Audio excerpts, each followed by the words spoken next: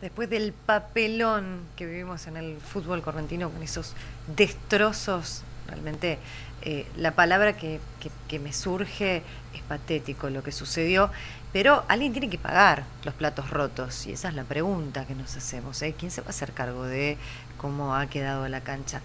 Y esto es lo que nos contesta el presidente de Mandillú solidariamente vamos a trabajar para poder cubrir digamos, estos arreglos. ¿Qué fue lo que pasó? En principio, futbolísticamente se fue de las manos al referee en un momento donde no pudo controlar el partido, donde en mi impresión personal no hubo las tarjetas en el momento que tenía que haber y posteriormente se mandó, o sea, es una cuestión digamos de, tumulto digamos que se arma y obviamente la calentura del momento, eso hace digamos que si no parase en el momento se genere estas cosas.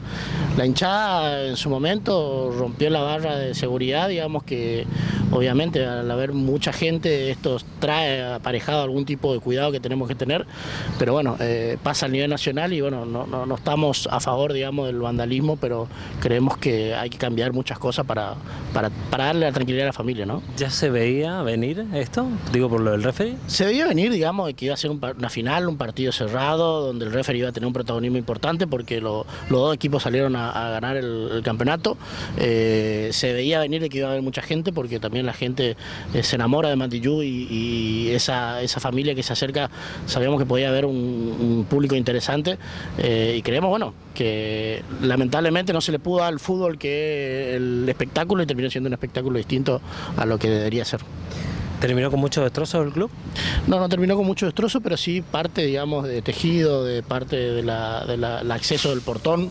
Eh, justamente eso se está viendo ahora, el informe, digamos, del club y el informe también de, los referees para ver cuáles van a ser las sanciones que van a imponer la liga, ¿no? ¿Habrá sanciones? Sí, seguramente va a haber sanciones a, jugadores, digamos que obviamente desde público conocimiento la situación que se vivió, así que va a haber una sanción seguramente de la liga a los jugadores que estuvieron involucrados. ¿Estaban en condiciones las instalaciones del club?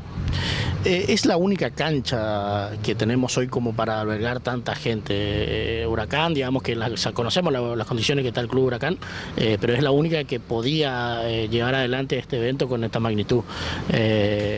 Nosotros estamos convencidos de que paso a paso, en, seis meses pudimos llegar a este campeonato y, tenemos que preparar para, para, este tipo de eventos porque Mandillú llegando a una final trae la aparejada la cantidad de gente que, que lleva en un partido y creemos que tenemos tener un estadio de condiciones. Ferro no pudo pasar esta prueba del Consejo Federal eh, eh, y bueno, eh, Huracán era la única que quedaba para poder realizar este evento.